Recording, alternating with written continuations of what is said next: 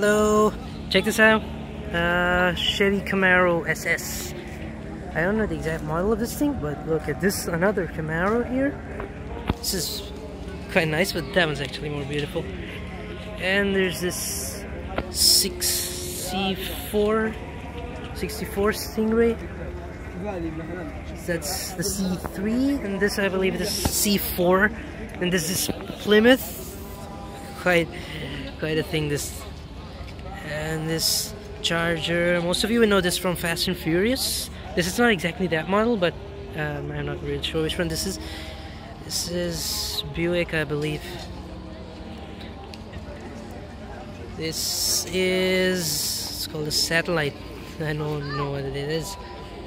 Pontiac GTO, the classic. Look at this modded Chevelle. It's beautiful. I'm not sure I'm digging the two-tone paint though, but yeah, it's nice. There's another GTO. 64 Mustang.